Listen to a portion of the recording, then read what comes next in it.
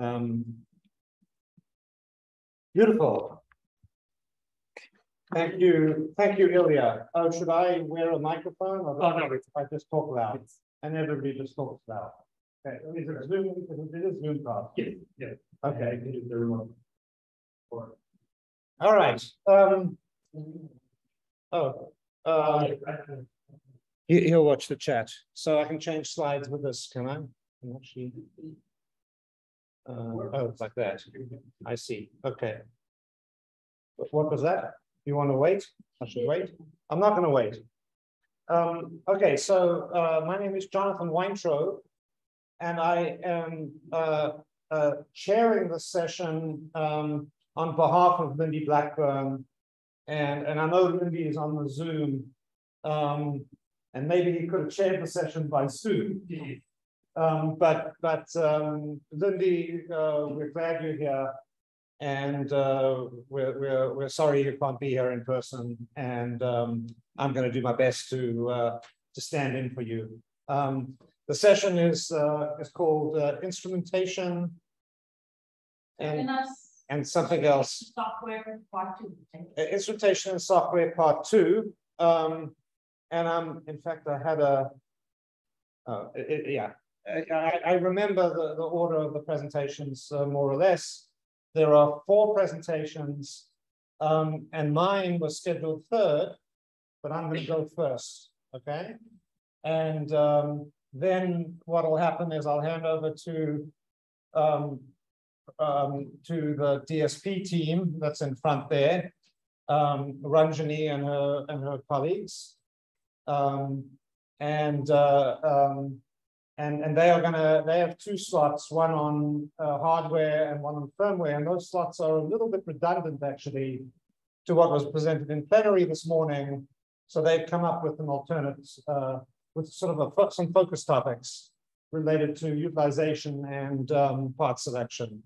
And then we'll close with um, a, a- a more structured talk on HOPS by Dan Hoak, okay?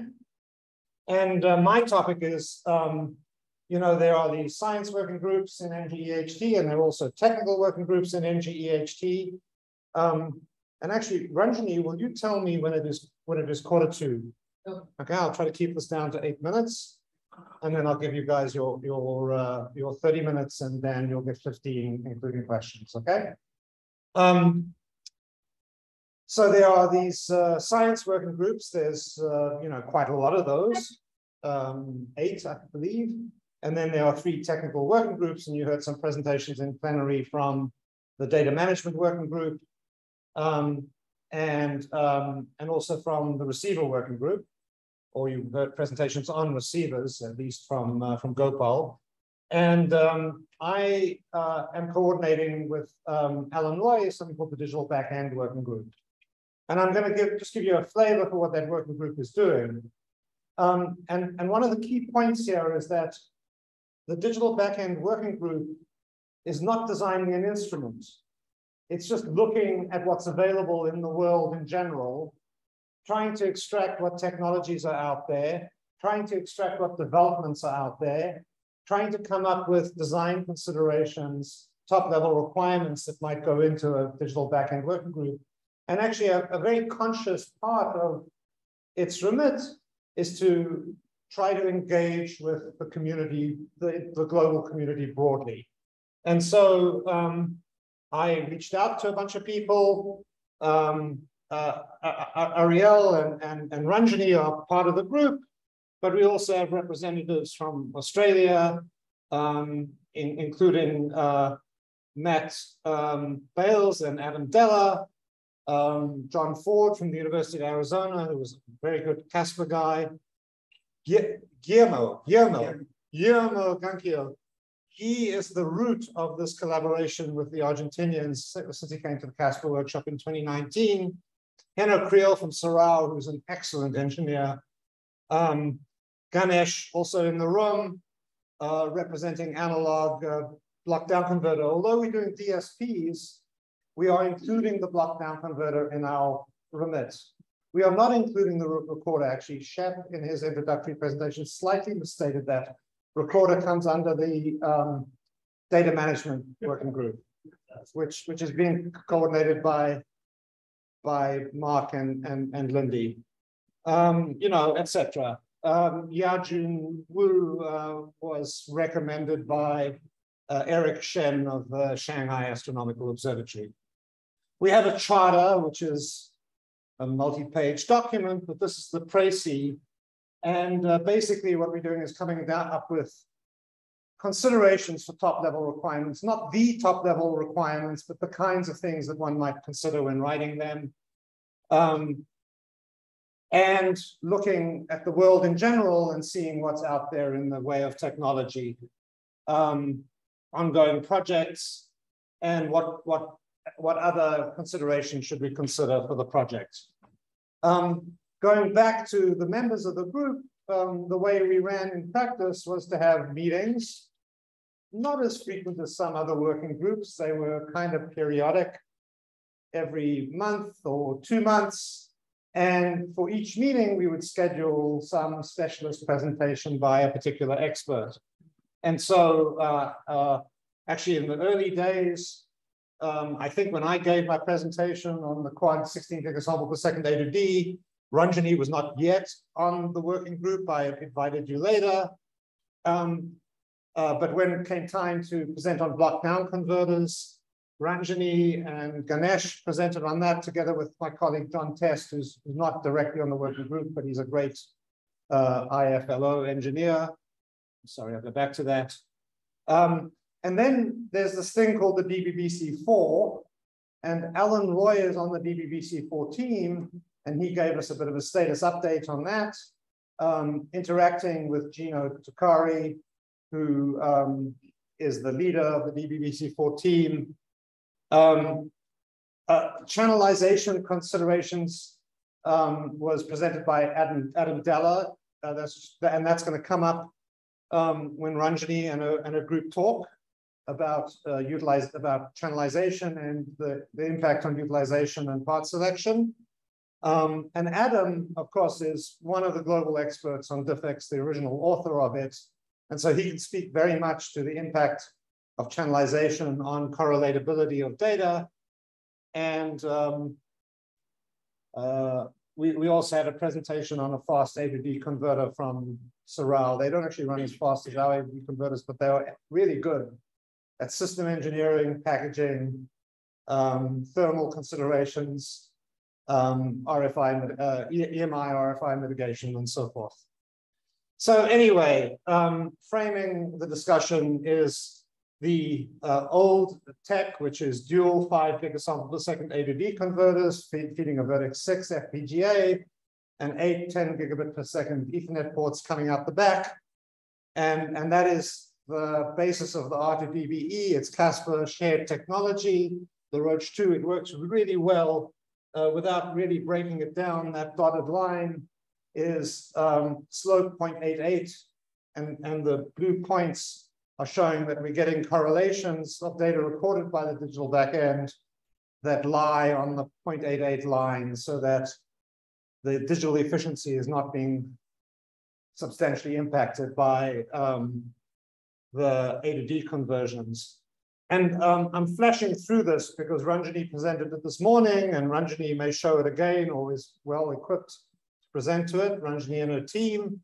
Um, and it may not also be the very latest data, but it was one of the presentations that was given on the quad 16 gigasample per second A to D board. So this was an extract from the presentation I gave, way less contemporary to what Ranjani and group presented this morning. Um, there is work going on, very interesting area of RF SOC, right? Uh, FPGAs that um, have built-in A to D converters that actually only run in present technology at um, four gigasamples per second, but have many bits, eight bits, I believe. And uh, Arash, uh, Dan Marrone, and David, um, David, who's David Forbes, um, are developing uh, Arash primarily an interleaved RF which can do eight bits and, and run at eight gigasamples per second, or perhaps even targeting 16. Um, the DBBC4. Um, I, I think what I would, oh, I guess I can point, or maybe I can't, but it doesn't really matter. What I will, what I will point to here is that, is that the DBBC4 on paper has extraordinary specifications. Either dual 56 gigasamples per second, or four channels at 28 gigasamples per second, um, with, uh, I believe, six bits of sampling, possibly eight. Um, Mark, you can correct me. But it's not, it's not four bits, it's more than four No, bits.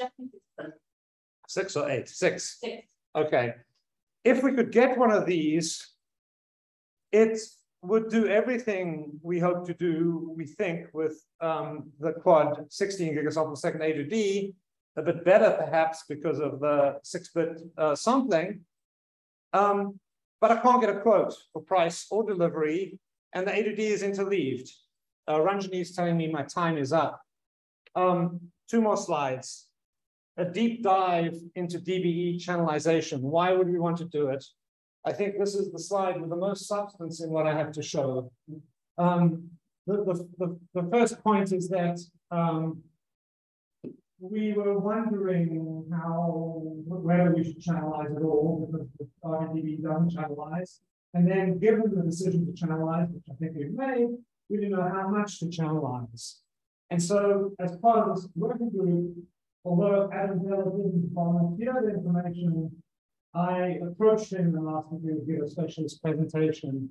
And he came up with criteria. I mean, the first one, you can do amplitude equalization across an eight gigahertz band or a slope with ripple. You can equalize before you truncate. Um, strong RFI components, that one actually doesn't apply so much to our waveband. But nonetheless, a consideration for digital backends. Um, the, the key one is the parallelization, an optimal channel width for parallelization and difference.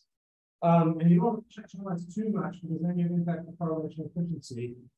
Um, and uh, he talked quite a bit about oversampling of polyphase filter banks, where if you want to do a coarse and then a fine channelization, you want to overlap them so you can uh, take off the wings and have brick wall responses so that when you fine channelize, you're scalping on the band edges. So this was Adam's particular expertise, and we were very grateful to have his input and expertise here. I'll, I'll just point out that when you form a technical working group, you're asking a bunch of engineers to work for free. And scientists love to work for free because they just have their scientific lists and they come and they join the group and they do science with you, and then you get a publication out of it. But engineers look at this a little bit differently. So that you know, people want to help, but people have limited time and people have commitments and budgets and they need to book their time a certain way. And so there are some challenges keeping a, a global working group engaged. And I'm just going to close, close with that. Um, we did come up with mitigations. We do not have to, we can have a question or two, I suppose. I'm the chair, so. um, thank you for keeping me to time, usually, more or less.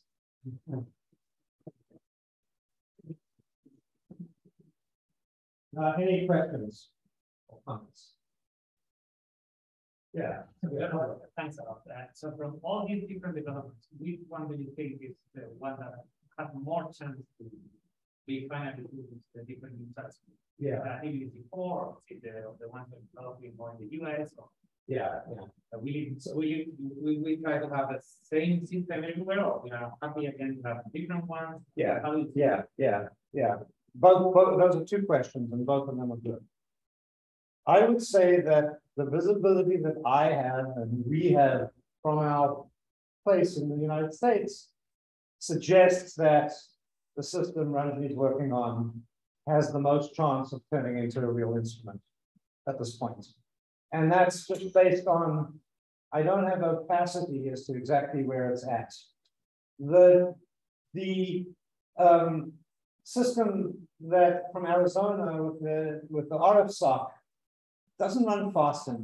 Okay, I mean, I think all Arash has done is he's interleaved two four gigasamples per second AD converters, so he's getting eight gigasamples per second. It's actually very important to have 1634 gigasamples per second because we do want the system to interoperate with 4.0 096 gigasample per second current R2DBE, and you can do that very easily if it's a commensurate multiple.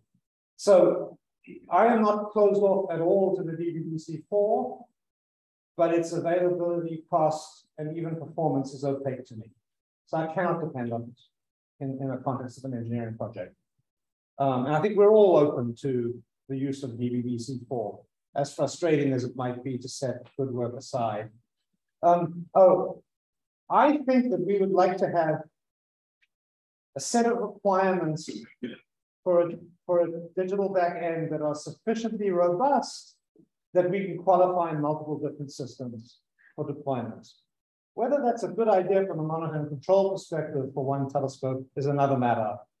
But we already already inevitably have heterogeneity because NGEHT includes EHT.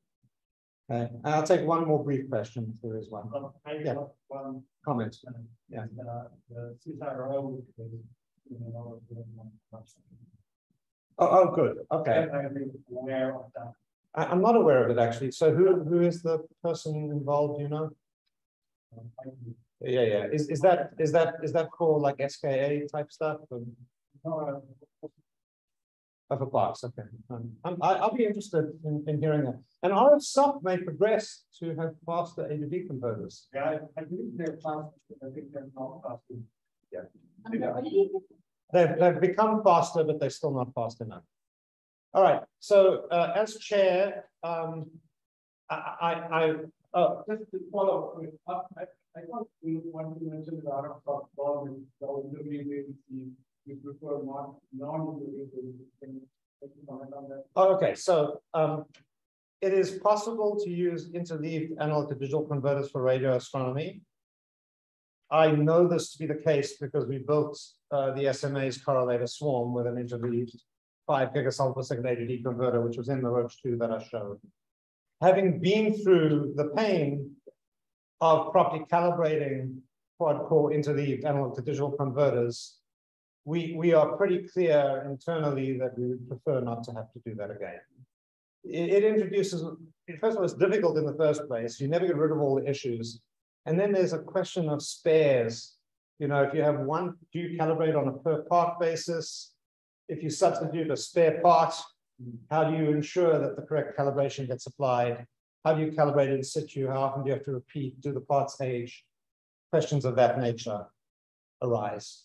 The calibration model seems to be very, very tough. You have to know, you can do it and it's all. Yeah, I, I mean, I, I, we're not closed off to it. Okay. Um, yeah, so um, I, I'm going to hand over to technically to Ranjani and Emilia. I'm going to give them half an hour. Um, Dan, Dan will take the, well, well, I, I, I'll go to five, uh, with, with permission, we started five minutes past the hour, I'll go to five minutes past the hour. Uh, also, and I'll give you, you know, I think that's punctual enough. Um, and Dan will wrap up with his, with his talk on, on, uh, on HOPS. Um, and, and, and, and Ranjani, uh, um, I, I'm actually gonna leave it to you to, uh, Oh, uh, we need the, and the other thing, if you want this one. Oh, good, we'll give it to the speaker. So this is, this pointer works. And this is for changing slides. Oh, Because fine. that, that pointer, that one. Understood.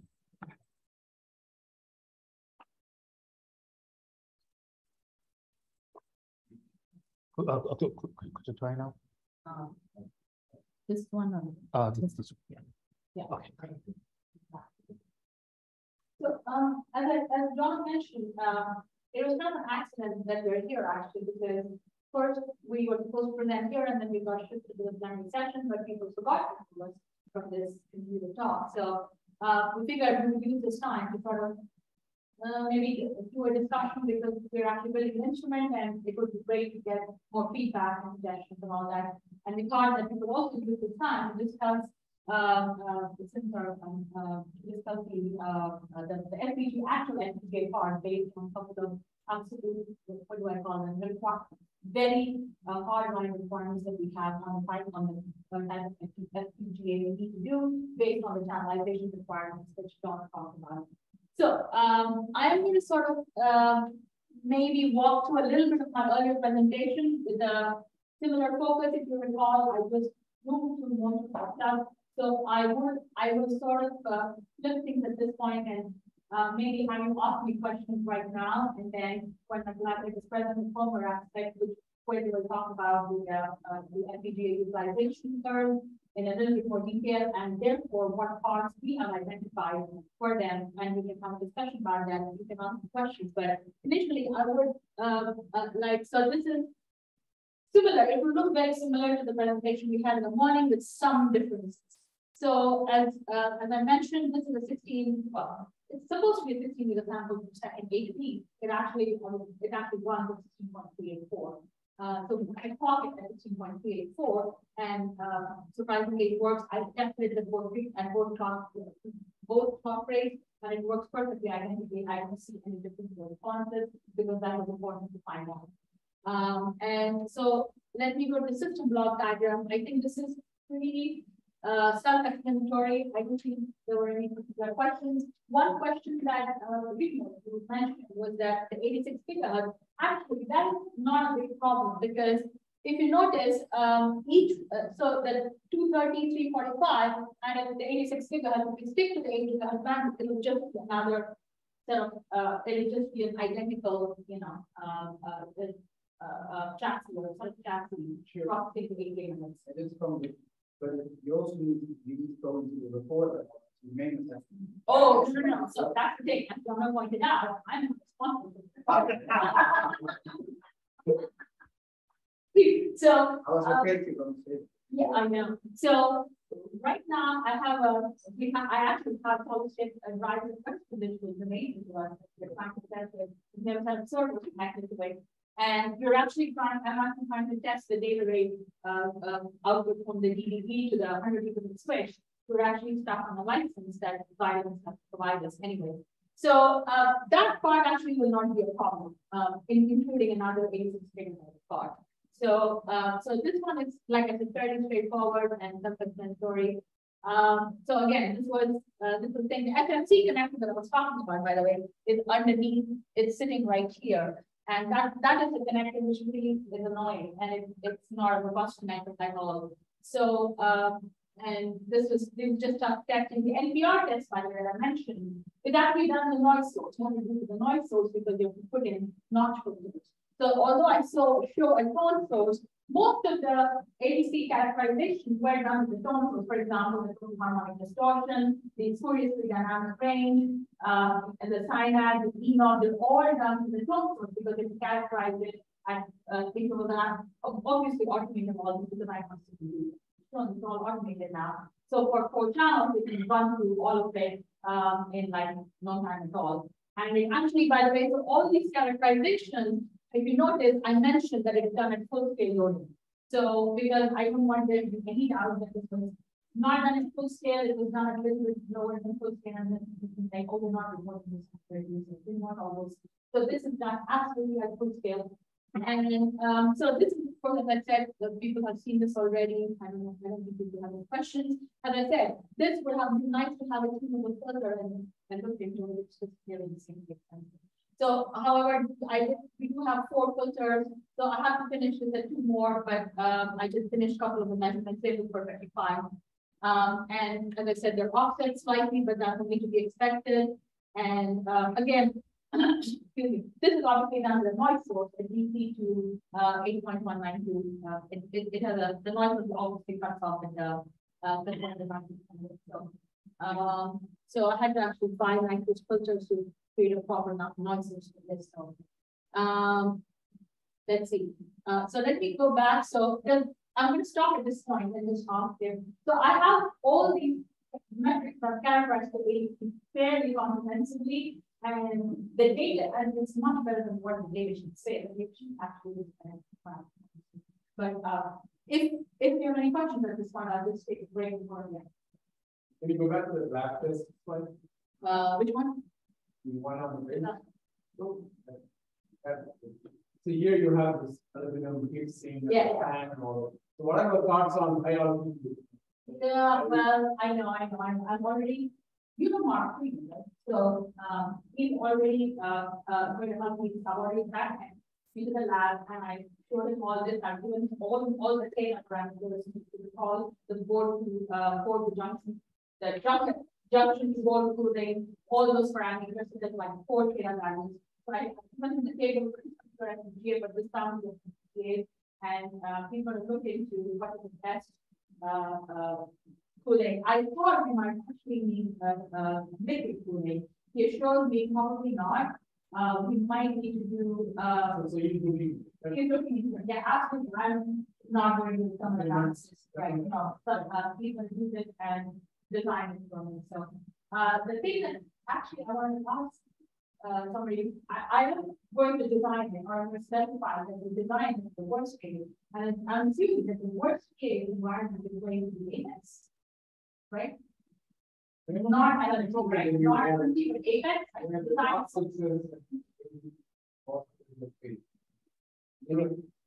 I'm saying high altitude are.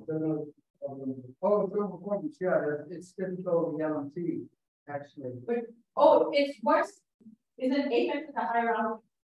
Apex is at a higher altitude, right? So I thought I could be designing, probably Apex. Uh, Apex can never be a low altitude problem, but you know, yeah, you have to design for something like five thousand.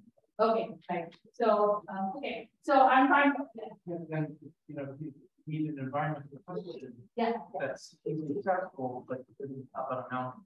Oh, we have, okay, so, sorry, so in about, so see, in here at XAO. Yeah. We right now don't have a feedback chamber, but they assure me that about six to eight months will. Okay. So I'm hoping, so they do, so, um, um, the other thing, nobody asked me, I wish you had, I did crosstalk between the ADC channels. Um, I have tested it to first order, I don't, if I terminate all the three inputs and inject something into one at full scale, at both noise and tone. To first order, I don't notice any crosstalk for this particular board design. Now, remember I mentioned that we are going to do an in-house integrated board design, so I may actually spread them out a little bit more, just that's the easiest thing you can do to minimize crosstalk. So, uh, right now, even for this, I don't notice any significant crosstalk, but I haven't done it in a proper statistical way where I basically go, well, we have, you know, we have uh, bits toggling at random, how do you distinguish that from actual crosstalk. So uh, I have to do kind of a more statistical uh, test on the crosstalk. But as I said, the first order looks okay. Um, I'm happy with it. I don't notice anything really, really off about this. So I don't, don't notice any continuous leakage. So, but we'll see. Um, okay, so moving on. Uh, okay, moving on to this. Uh, this is a this is a very run of the mill almost signal processing chain. I don't know if anybody has any um, comments. One thing Ganesh pointed me to, which I will, which I think will be of interest is, uh, of course, I have a I have a, a bandpass filter and a Nyquist filter. This is uh, to reject the image and to reject the other, of course. What he wants typically, uh, it gives me 30 dB of stop band attenuation. However, the nice thing uh, that Ganesh pointed me to was that uh, now they make these um, reflectionless filters, and typically you don't want cascade filters because it creates time waves. But with these reflections, reflections, oh, sorry, um, they're not they're custom, they're not custom filters.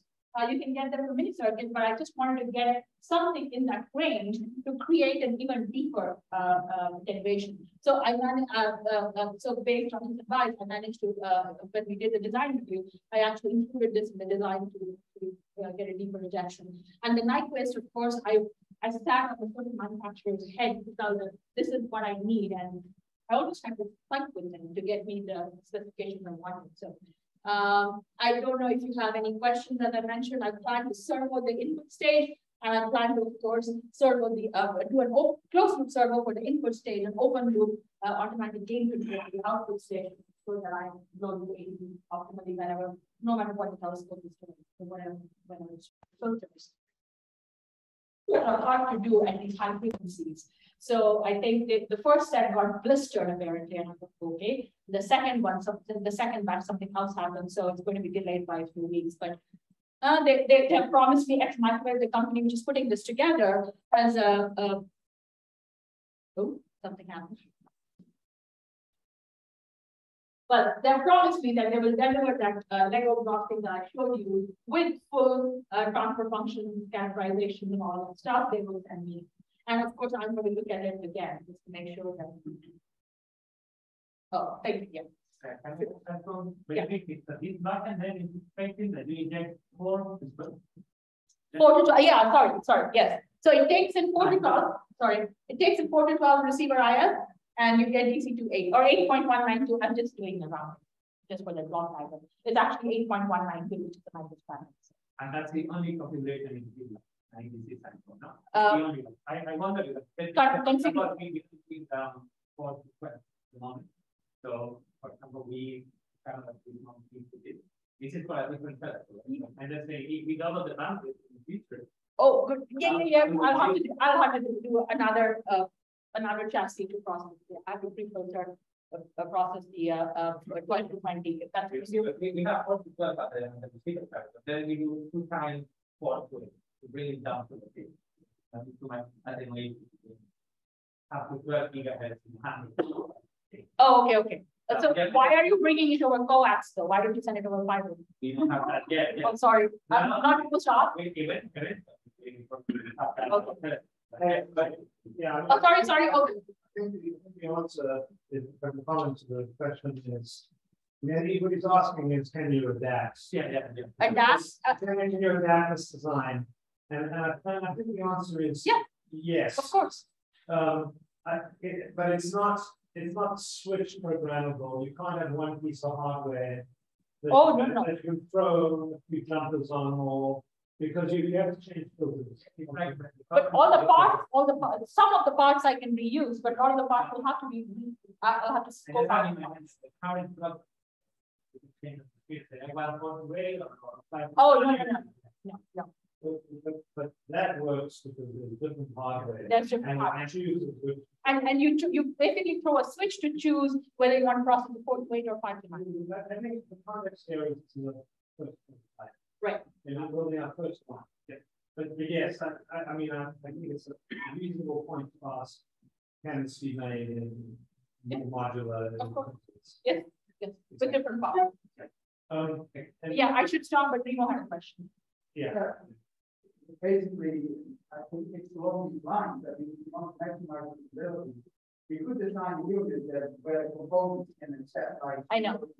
I know, I know, I know, I know, but keep in mind, there's a ton of octaves between to find. So it's hard to find uh parts which are uh where the mixers have good isolation across ports. It is something. to No, not hard, sometimes impossible to find actually. Yeah. Sometimes, actually, you, I spent a lot of time even get, getting these to get me the isolation I wanted because I was going for a hard requirement of forty-five. dB. Then you have to ensure that they. What you actually install in the around, you can actually install that particular part. into- I would, I think so. I think that should be possible. Yes. Keep that in mind. Yes. Yes. uh, So those are all spec out to thirty gigabits, so that should work. Uh, but I would have to replace some of the parts, not all of them, but some of the parts I'll have to. So, so, so, so Rafi, as chair, I do have to bring to your attention that you're halfway through. Yep, yep, I'm done, combined- Combined time, you can allow. Okay, okay, Manuel, here sorry, sorry, you can. So we are going to talk, we're going to talk about, uh, sorry, John, we talk about normalization, we're going to talk about, of course, some of the things we fixed in the code that we inherited, and then, uh, talk about, uh, which FPGA part we should, we think. we Just should have fix. one question for you. Yeah. Don't you have to modify the code twelve to one to nine for over? We do. Uh, I, thought- I, I thought, I saw in. in- in- okay, so, so I'm, I'm gonna, s- I, not, not to my knowledge, Nobody. but, but that, that is a question that, that we could raise with our other people, I mean, I, I guess we have a configure here. We're to get the LMT receiver, the LMT receiver done on tonight. Actually, it's that as chair, I mean, I think we could raise this as a point, it's fine. But I would rather keep the session on intellectually, you know, same thing as rather than we made a big mistake and. Okay, uh, because I, because I believe that there has been interaction on. Yeah. In fact, we're using Gopal's new receiver, okay?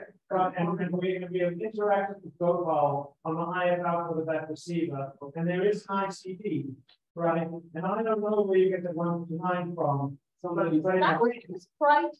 That was. If- if- Yeah, yeah, that's not what I want to hear, okay? Input mode. Sorry. No, no, wait, no. Effort is that it's possible to buy tunable filters now? Okay, she talked about those, it said they were very, very expensive. Okay, I, I heard, uh, I heard Ranjani say that she looked into them. There's two chemicals, Well, okay, But then I can know about it. two tunable filters, another device. I can send you the part. yeah, yeah, yeah, but, uh, so, thank you. Thank you, Ganesh. Sorry to be a little bit dictatorial, yeah. Don't check. Thank you, Jonathan. Okay, now, uh, just to deepen a little bit on what we did in the FPGA, actually. Uh, well, uh, first, at, at the point that we were given this FPGA, uh, we didn't used to have the, the reception block working. We didn't uh, have the channels aligned. So the, the, the first thing we did to make sure that we could have the, the signals from the ADC into the FPGA was to fix the, the ADC channels. And well, basically the, what, we did was uh, increase the robustness of uh, the system, the, the algorithm that we have inside the FPGA. This uh, was due to, uh, for, for the alignment, you need a PRBS. This PR, PRBS is provided by the ADCs, and you have to create a PRBS inside the, the FPGA to actually compare the two and align each channel on one ADC. We have four channels to go because we have only four bits on, on, on each ADC. So what we did was uh, inside this state machine, we have we had only four um, yes four four words that we could look for inside the PRBS. So we expanded that uh, that table so we can actually uh, take different uh, measurements between the, the different uh, Links. yes between the different lengths, but uh, between the different uh, lengths between each bit. So this uh, improved the robustness inside the, this, this state machine, and then we could align uh, the channels on each ADC.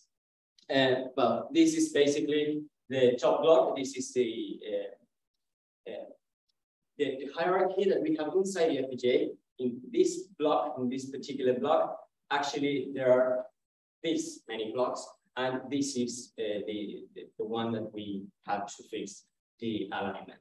Uh, well, uh, going on to uh, how, how we did to run the tests. Well, actually, we connected tonsils in each uh, input of the, the ADC board, and we uh, turn on the, the FPGA and, well, actually tell it the pipelines to align. Uh, if, if we are not aligned, we get this. You can see sort of, sort of side-ish wave at the channel, channel A in this case. Uh, this is representative that we have, uh, in this case, modulation with a, with a, with a waveform, with a sine wave. But again, in this case, the channels are not aligned, then therefore we have this sort of modulated waveform between the PRBS and the uh, and the tone source that we have in the system. Uh, well, after alignment again, we have this uh, really nice, I should say, uh, sine waves inside the FPGA, uh, and well, the requantized, the version of, of these uh, sine waves that again, uh, well, this is a two-bit quantization, and the, these uh, sine waves actually four four levels are not that really good, but it's the best we can we can do so. It's what we get. Uh, well, the, the, important thing what brings me here is the complexity inside the, the FPGA. This is uh, what we have maybe to discuss a little bit because we need to uh, set an FPGA that we are going to use. And well, uh, this is this is mainly because we are going to use resources.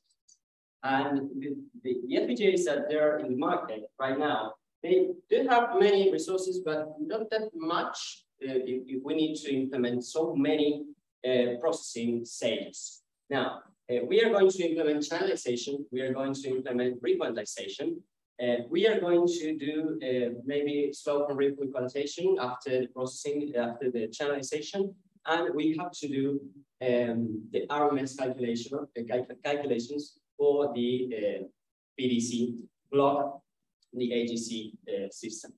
Uh, if, if, that's the case, this is the area, there's two blocks more there. Uh, this is the area inside the FPGA. You can tell that almost everything is going to be filled up. Now, the point, the, the important point here is that, again, for the polyphase filter bank, we are going to need DSP slices. These DSP slices are blocks that performs mathematical uh, mathematical operations. Thank you, Ranjay. Uh, these are multiplications and uh, others. And we can basically put a summation and, uh, and a multiplication inside one DSP slice. The problem is that these DSP slices are in colors in, in the FPGA, it is uh, are in colors. Now, you have, for example, 9,000 DSP slices inside the FPGA. So you might guess that, well, there are going to be some here, there are going to be some here, there, there, there, and the point is, we are running this, these are the transceivers, this is the, these are the ADC5. These below here are transceivers from Symphotic, and we have clocks that come from the on device at 250 megahertz. This is quite a fast clock for an FPGA. And even though we are using the mid, the, the speed grade M2, which is low power, mid, uh, mid medium um, speed, uh, this is the 250 megahertz is not really good for FPGA. We have barely working uh, with, with that frequency. We can increase it more. Uh, that brings me to my next uh, slide, which has to do with the Dmax factor. And this basically uh, tell us the, the amount of DSP that we are going to get inside it. You can guess that there, there are two more, uh, uh two more parameters. We have taps and number of channels. Let's focus first on the number of taps for the polyphase filter bank. The polyphase filter bank that we're going to need, it, it's said to be to have 128 uh, channels. So that means around uh, 1,020, uh, 1, 1, 1,020 280 um, coefficients. So uh, there are going to be a lot of, of stuff inside the FPGA. The point is that if we increase the number of channels, the of taps, sorry, for, for example, four taps, eight taps, or 16 taps, the amount of DSP slices we get, that, that we get for each polyphase filter bank, it's quite high. And if we have to get enough suppression on the polyphase filter bank, maybe we have to go for 16 taps, which when, when I don't know if you can see here, but this column is the multiplier column and this column is the other column. This was uh, from a paper by Damian and Jonathan and others. We can see that we have roughly 7,000 DSPs, uh, 7,000 multipliers, and around uh, 9,000 others. Now, I, I, have told you that we can combine others and multipliers inside one DSP slice, but uh, you can see that we have some increase uh, in, in others. That's because we have to well, connect the, the, the DFT, the, the, the polyphase filter and, and well, that, that gives us some more other, just 30% uh, more. Now, in, in this point, uh, we, we have some rough number of 9,000 DSPs just for the polyphase. But we have to do software equalization, and we have to do requantization and maybe some other processing inside the FPGA. So maybe we one FPGA, the one that we are working right now, has only 9,024 DSP slices. So we only could do just an section, for example, unless we implement some of these operations in the fabric of the FPGA. If we have to do this, maybe we have we, we run out of space inside the FPGA. So this trade-off between if we have to implement the the polyphase filter bank with DSPs only, or we might get to implement some other uh, processing inside the FPGA using the fabric. And there's another factor. There's, have five minutes. Thank you. Uh, there's another factor, that, another important factor, that is the Tmax factor. Because here, you, you can see that if we reduce the Tmax factor to 32, well, it's great actually, because we decrease the number of DSPs in the FPGA. But there's a problem with timing, because as I told you later, uh, before, uh, we have DSPs here, here, here, here. And to get a clock from, of 250 megahertz from here to here, it's a long run from here to there. And we have to we have to get that, that 250 clock to these people will be there. And these operations take a long time. And well, you, you can see the timing problem here. We if we go back to 32 uh, to, to a Tmax factor of 32, the FPGA clock has to increase to 512 megahertz. That's a lot for an FPGA to meet time requirements. And well, that is the point that brings me to what FPGA should be used. Should, should it be the VU37P uh, that, well, yes, we have enough uh, DSP slices, and uh, as I told you, 9024. Uh, we could use the VU11P that has some more, or we can use, use the VU13P that has 12,000 uh, DSP slices. Now, the point in, in, in, this is also maybe we will need some other transceivers. We have to implement more, um, I know, we, we have to implement CMAC 100 gigabit interfaces, uh, for example, four, five, six, I don't know how many. So these transceivers, uh, actually right now we are using 48 transceivers, 48, 48 transceivers. So we have 48 out of 96. And that includes 200 speed, uh, 200 uh, um, speed interfaces and four pipelines for each ADC. So if we have to increase the number of ADCs and the 100 gigabit interfaces, this will have to increase it as well. Now, the point here is also the price that we have to pay for each FPGA. Now, these were in Digi-Key, these, these prices were in Digi-Key, uh, it's 9,000 for the VU37P, 6,000 for the VU11, and 81,000 for the VU13P. Uh, and well, this is what we shall discuss uh, if, if we have to meet these requirements. And well, think in, in future, we have to implement some other functionalities inside this particular video. Um, sorry? Go ahead, keep going. Sure? Yeah. Okay. Okay. Well, um, and well, just to, finish this, uh, we have implemented as well, uh, as Emilia told us uh, this morning, the um, storage system, which will be in a separate uh, FPGA. It's the same FPGA, this is a VU, uh, VCU 128. And this will get the data from uh, the data that we are processing now, this, for example, the, the pipeline data that, that tonsils that we have. Uh, and we will try to we will try to send them to this uh, uh this other FPGA, and we'll get the packets. We will um, packetize them to send to, to a PC, and we could actually see what is inside in, in, in those packets. So we can compare if the data that we are sending is the same we are receiving. So we can sort of clarify if we are okay to send these packets to a recorder, for example. And well, this is the the sort of diagram that we have for the, the, the recorder on the other FPGA. It has, well, a receiver, 100 gigabit receiver. It has block RAMs for uh, recording packages, and it also have uh, the, the one gigabit Ethernet device that will bring the packets down to MPC.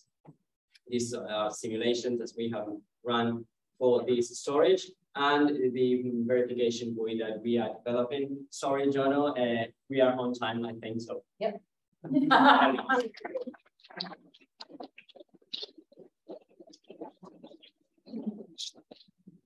Uh, so, so again, I, I, the boundless enthusiasm and And, uh, and tremendous amount of content is, is very accessible into this. This incredible team.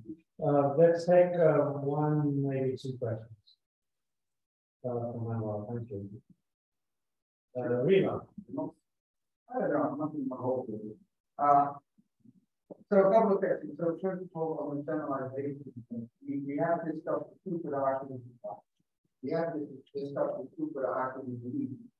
Uh, and, uh, you know, ultimately, the, you know, Helge and, and, yeah, didn't think about that before, before the, for the, but obviously, you have to talk about it, but they said, you know, a few minutes is fine, you don't have to go really, really fine. yeah, yeah. So you can I, yeah, um, I, I, if you don't mind, I'll just stress out on. There, there were, I mean, there, there were a number of dimensions that uh, was recommended by Adam. And, and really all I reported was what Adam said. no, so, but it may be good about check with the other guy, and they.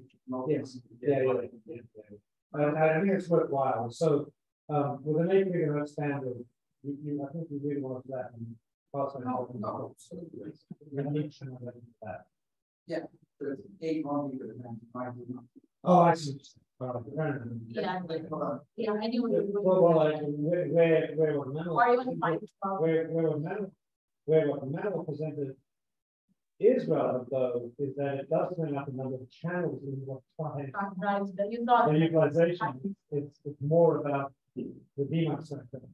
Yeah, well, And, and, okay, what's expensive is banding, That, it's not Banding. oh, yeah.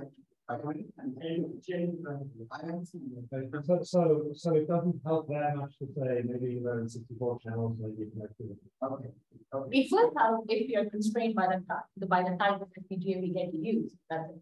Otherwise, it doesn't make sense. Uh, Any other, one more question? And it's such fascinating material. I'm- I'm, I'm breaking my pledge to run this session on time. Dan is giving me permission. We are gonna go, you know, 10, and 22, 42, but it's one hour. to six. No, no. One, one more question. Oh, You- you- you- yeah, I got. This is backwards compatible with Mars.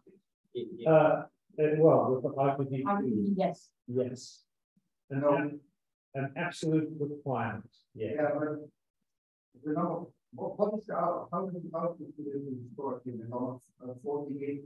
No, Uh, it's, it's it's sixty-four gigabits per second on each channel, so we have sixty-four gigabits per second on each CMAC, so we have hundred and twenty-eight gigabytes per second to send uh, to everyone.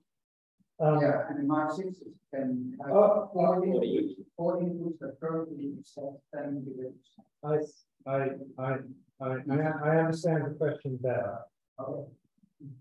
Um, yeah, man, man, gave uh, output from the units. Um, can you record from this unit onto a Mark six? I, I believe the answer is yes. Uh, Except that the, except that the Mark six doesn't run quite fast enough. So you have, No, No, we will have a thirty gigabit per second. oh, okay, so, so each output is sixty-four. This is exactly what I'm asking, so. Right, Yeah. so I think, so I think, I think the answer is no, but So uh, uh, uh, it's, so we need to control, we need to, straight, we need to get about the two months. Uh, correct. So, so, so the, so the answer is. That is what I was getting. that,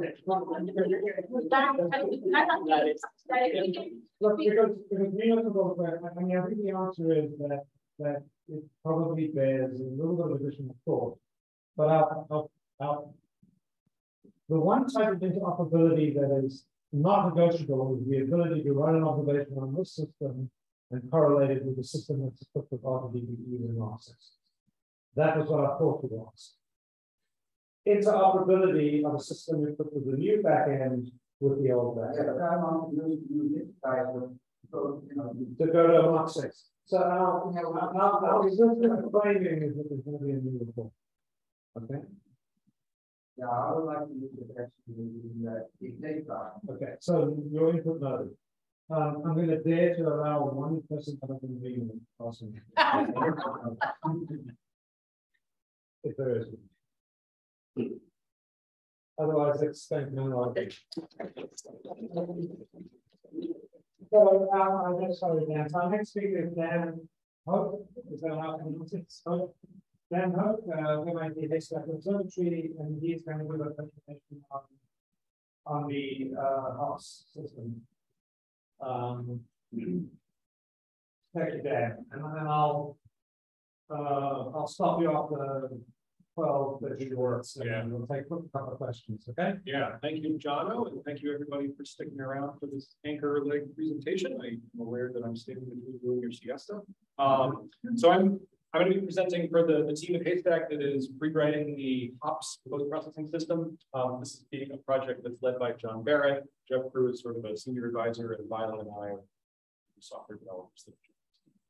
Um,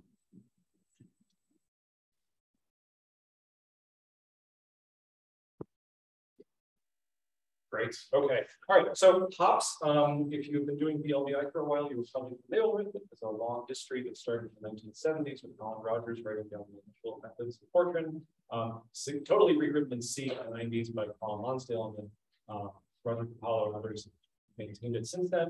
Um, the, the main engine of it is a program called fourfit or 480 that solves for the delay and delay rate solutions to find the fringe and correlated data.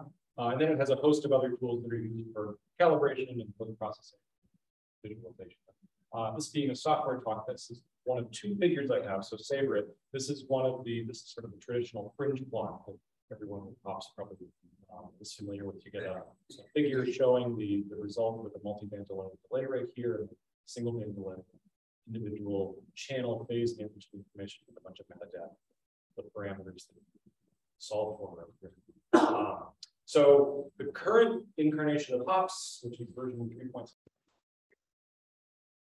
um, the code is really monolithic. It's very difficult to inject new functions and new features that people might want to add to their analyses. Um, it relies on a control file syntax that is quite antiquated. Um, and the file data formats are old and I think still based on sort of a tape drive uh, paradigm uh, and difficult to modify for the business. Um, so for the ngEHT, we need to totally refactor everything, um, but we also are going to preserve the current functionality and performance and also backwards compatibility with both file types.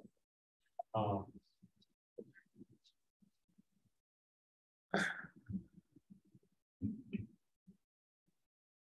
Yep. Okay. All right. So some of the top level stuff, and I'll drill into these in more slides. Um, so the limits on the, the number of channel stations and accumulation periods for time steps, um, we're, uh, we're going to solve this by using dynamic memory allocation with data containers that John has developed. Um, so there's going to be no practical limit on channel stations or accumulation periods for the next generation of HT. Uh, we're gonna, we've chosen a few fiducial numbers for testing and optimization. Um, if you have any input on how many channels, stations, et cetera, um, we should test for. I think the numbers are something like 128 channels, 30 stations, or something like that. Uh, let us know if we should be really optimizing for more than that. Um, the for the bandpass corrections, we're going to apply fully fully complex bandpass correction. The plotting software is going to be replaced with something probably Matplotlib, but we have strong opinions about that. Let us know too. Um, for extensibility, we're going to refactor the code into sort of more bite-sized chunks that are modular and then allow for plugins and bindings to check code as needed. Uh, as smart ideas of code like calibration techniques, things like that.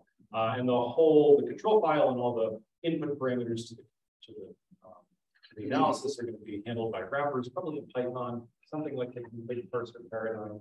Um, again, open to suggestions there. We want to support things that people like to use.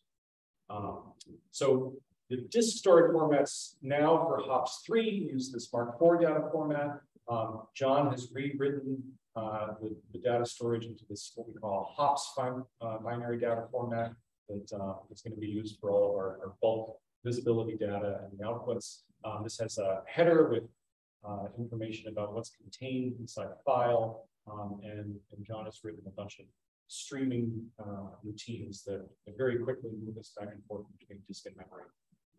So, so this is all, this has been a bit of a bottleneck in the process of rewriting the code, uh, but that start, that stuff is now cleaned and tested, and we can move on to starting to use the new data containers uh, with the with the methods. Um, So we're assuming we're going to be getting our data from the DiFX correlator in Swinburne format. Historically, there's been a tool called DiffX2x4 that translates Swinburne format files into core files that hops can use. We've replaced this with the Vex to Hops routine, it's finished. Um, and then somebody comes up with a different correlator, we can support that with the, the different tool to, to translate the files to format. VEX, both 1.5 and 2.4 metadata is, needs to be parsed in order to understand what you're analyzing. Um, this is going to be stored now in JSON format for, for easy key value lookups. Um, the output of fourfit is going to be stored in uh, also the hops format, but we know that people like to use other formats to look at the data, so keeping fits with the people. Um, and let us know what other formats might be interesting. Um, HDF5 is very popular, but you know we're open to suggestions here. So the data structures, the, the in-memory data structures that HOPS uses now are the C structs that are uh, you know, very tightly coupled to the format of the data on disk. Um, we're going to replace this with new structures that are very flexible and allow for accessibility. Um, for the, really homogeneous large format data like visibilities or weights, um, that's going to use these variadic template classes that are defined in compile time. Um, so you might define, for example, a visibility table, time frequency channel and polarization, the size of those dimensions. The number of dimensions is, is decided at compile time, but the size is not. So you can always use, you, know, you can add as many channels as you like, however much your data contains. Um, and then all the other metadata and uh, analysis parameters like that will be stored in key pairs JSON. In terms of plugins, we would really like to be able to move into a framework where if somebody comes up with a clever way, they want to pre-process the data before fringe fitting, they're able to uh, take up a piece of Python code, and prototype it, use a plugin to inject it into the, into the C structure, into the C routine, uh, let their code manipulate the data and proceed on to the fringe fitting. Um, so this has been tested with PyBind 11 and Swig. Uh, we're probably going to use a mixture of these two methods um, and shown that uh, you know you can you can do this with uh, you know inject a simple Python routine to uh, to for example apply stable to calibration prior to fringe fitting. Um, and furthermore, we know we want to try to speed up the code using extensions to GPUs and things like that. Right now, if you profile fourfit, um, it's not the FFTs that are the, the most time-consuming part. It's actually the complex multiplier that's used for the phase correction. Um, so this is something that really should be uh, parallelized for GPUs to vectorized calculations. Uh, so we plan to do that with OpenCL, and so far that looks um, and then the plotting, so pgplot is, is well tested in this life. It's probably this is probably the most challenging step to actually installing hops on, on a laptop right now. Um, we started to replace the plotting routine with matplotlib. So this is sort of a crude replacement for the fringe plot with matplotlib. Um, and then you're going to be able to extract the data and use your own plotting code as you like. So if you have suggestions for plotting routines other than matplotlib, those are very welcome. Um, we're going to we're going to retain the command line functionality of alist and aedit, aedit and alist, um, but we're also going to build a, a, graphical user interface so that uh, that's, those tools are a little more accessible to, to novice users and uh, doesn't have such a 20th century interactivity. Um, in terms of testing, so we've so we've tested a lot of the data container functionality. Um, the uh, we have nightly uh, a compile and build process going that tests um, the, the, ability of the code to work on some captured data and make sure the results are going to change. Often they break. I realize some somebody's modified code in the way breaks things.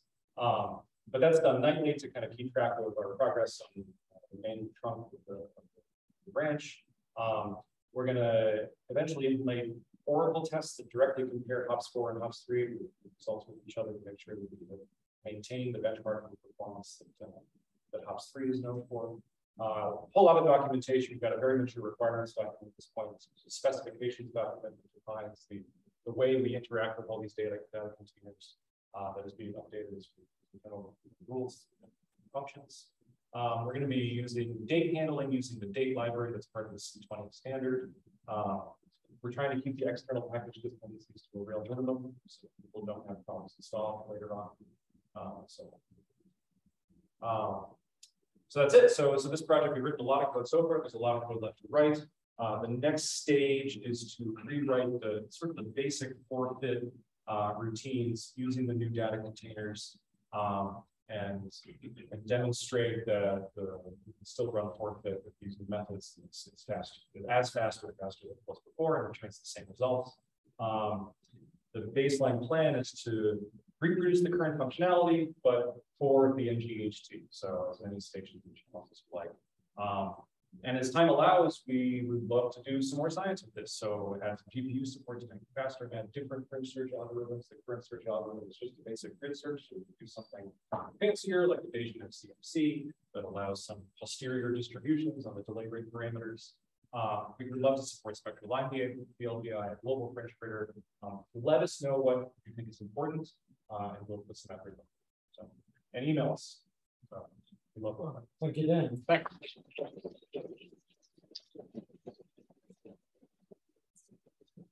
Um, so Dan actually, I know we're running late, but Dan actually really did stick the time uh, very, very precisely. So I am going to allow time for questions uh, before we close. Uh, please, uh, so Loki. So what's the time scale the uh, public activities?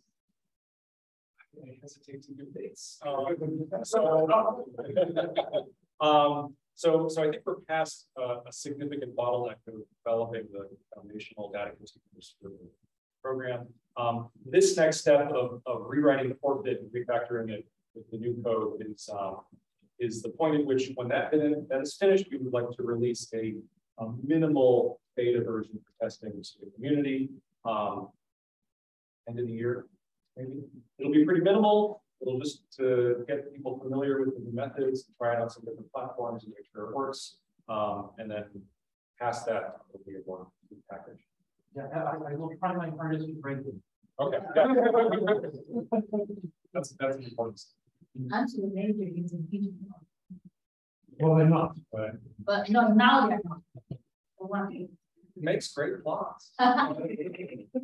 And uh, any any other questions, uh, Mark? Uh, I think your, your, your consideration to be very strong. It's incredible to do, assuming you. Or the data and the way that's and do and find. Yes. Um, there is a great struggle for the unity to be converted into version on something. Uh, that's not to do. Well, I have that. Okay. Um, HDF five is not not that. HDF5 is maybe, maybe a good choice, and I think we can actually do HDF5 results. The accelerated is ninety-nine, what we do for the next only data. Yes. That can be critical, tend to use for the, uh,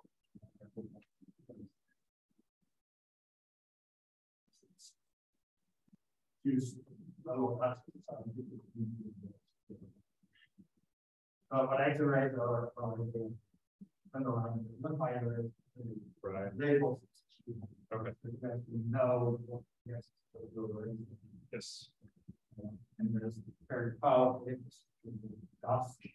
And then based on, on Dask array, there's actually parallel fifty years on multiple machines. Okay. Because one of the things we run into the act on goal. uh, is, which is bring it. All channels. Yep. Some things we run out. and Okay. that's, you know, we have to. Motion.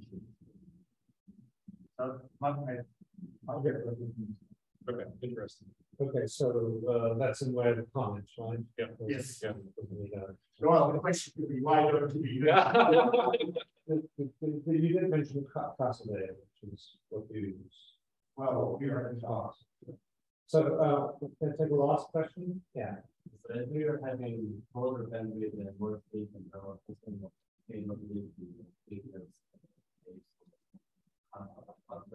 do you think this new version encounters capability or do we need to give uh? It'll certainly have the ability to handle the new bandwidth in the new, the new stations and channels. Um, Whether or not there will be a speed up is TBD. Uh, so we, we think so, but not sure how straightforward it will be to realize that. Okay, so I'm, I'm gonna, um, draw the session to a close then. Um, thank you very much. Alan. Thank you. This is not exactly the last session. Um, I believe it's a fireside chat. If anyone needs a fire for early career people. And uh, any early career people here are encouraged to go to the fireside chat in case you are feeling cold here in, in, um, in